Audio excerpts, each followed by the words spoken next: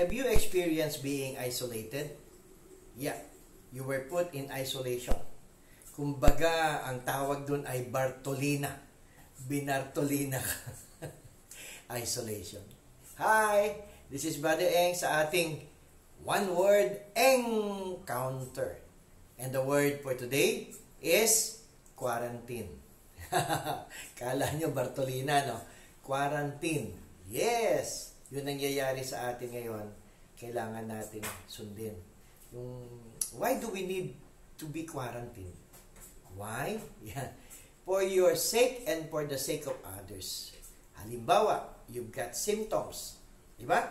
So, you quarantine yourself, you isolate yourself, you, you, you, you separate yourself from others so that hindi ka makahawa. Diba? Yung iba kasi matigas ang ulo. May symptom na nga, ayan, talagang nakikipag halubilo pa sa iba. Yan, sa atin, lalo sa ating panahon, no? Kailangan nating sundin yung quarantine, ibartolina ka.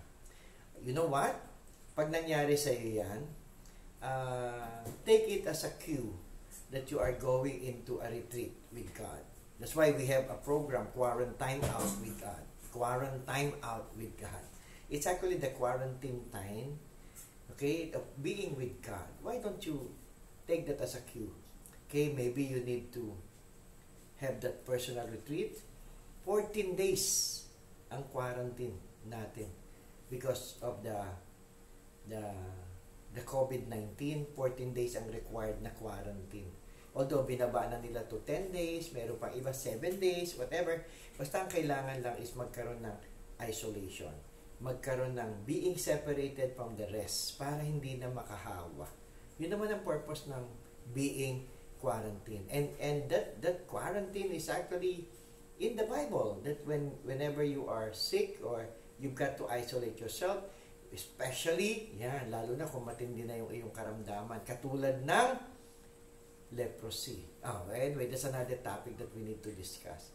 But quarantine is is suggested so that you can be able to protect yourself and most especially you are able to protect others.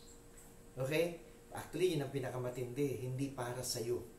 Para sa iba. Kung ikaw ay responsable. Yun yun. Yeah.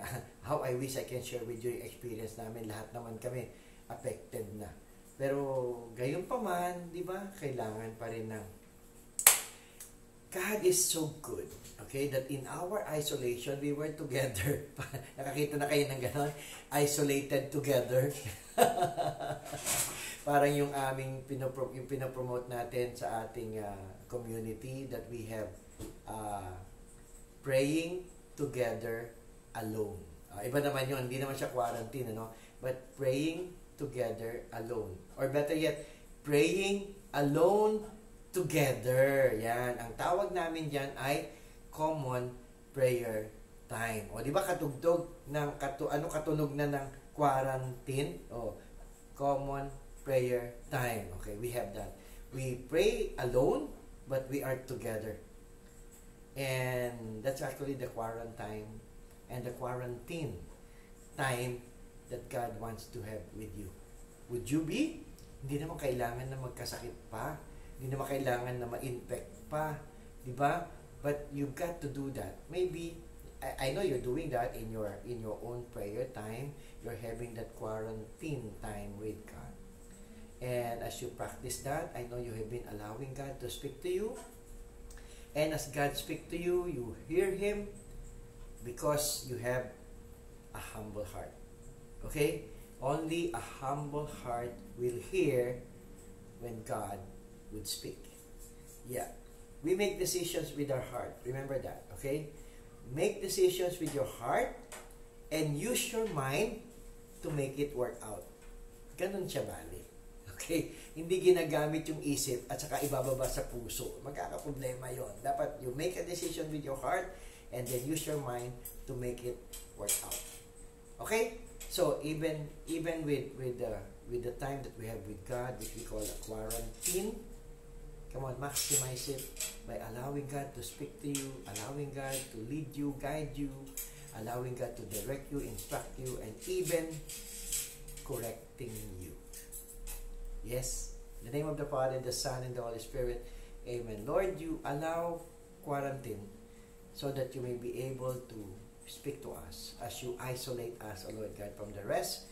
We are not isolated totally because you are with us and you you you connect with us, O Lord God, so that we will be connected properly to you in this quarantine time.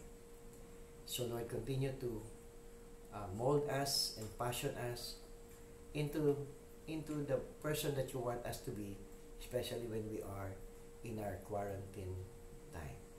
We pray this for your glory, with Mama Mary praying with us and for us. In Jesus Christ's name, amen and amen. Okay? So, in your quarantine time, God is with you. So, enjoy Him. God bless you.